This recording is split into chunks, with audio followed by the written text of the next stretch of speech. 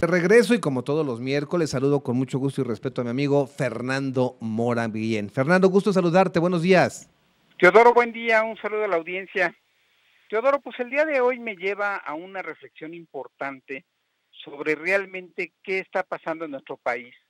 Eh, tal pareciera que en el contexto internacional hay dos Méxicos.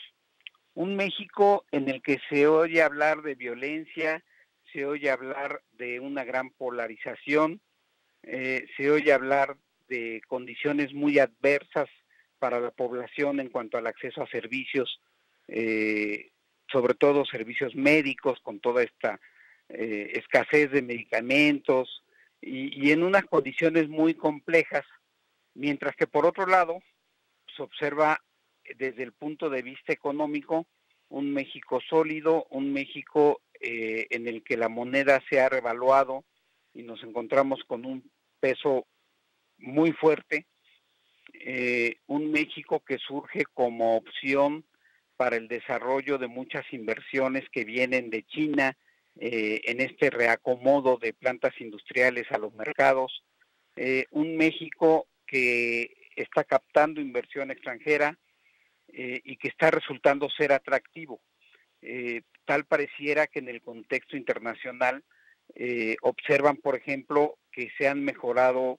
al mil por ciento los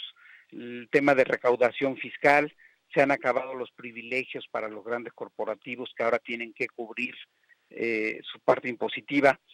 Y, esto, pues, eh, por un lado nos da una luz y sombra. Pareciera que el país está muy mal, que hay mucha inconformidad de la población,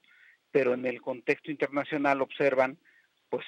una, una condición o una situación muy, muy distinta de lo que realmente se está viviendo en el país. Entonces, bueno, nos lleva a la reflexión de que todos tomemos en cuenta, eh, pues realmente qué es lo que está pasando y, y, en qué estamos fallando como sociedad